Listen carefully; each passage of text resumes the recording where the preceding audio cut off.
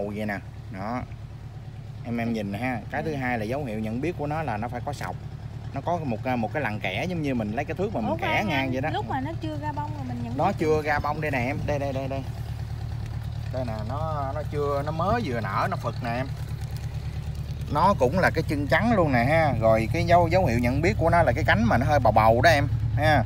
Rồi cái nhận biết mà rõ nhất là quan trọng nhất là ở trên cái lằn của nó nè nó từ đây nó có một cái kẻ ngang nè em thấy chưa? Dạ. Nó có nguyên cái kẻ ngang là cái lằn sọc của nó đó Ừ. mà anh anh hay nói trên mạng rồi là giống như cái, cái thước mà mình lấy cái cái cái cây viết mà mình kẻ nó cái gì thấy không nó nó nó, nó nguyên một cái lằn mà nó thẳng băng luôn á nó chưa ra bông thì mình không nhận biết được. nó chưa ra bông thì mình cũng ờ, khó mà nhận biết Qua được nó ờ nó là nè. cái gì lá thì vô phương luôn em ơi Dạ.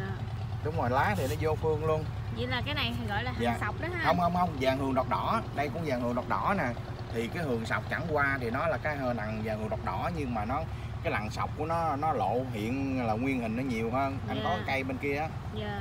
bên bên nhà bển á Trong đây là mỹ cam á. đây đúng rồi mà là mỹ cam còn cái thằng mà hồng hồng hường là khác nha em bữa để em em em bán giống em phải kỹ mấy cái loại này mới được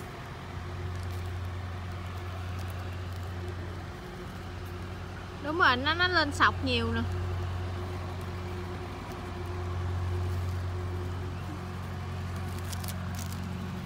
Wow, cái anh giật quá.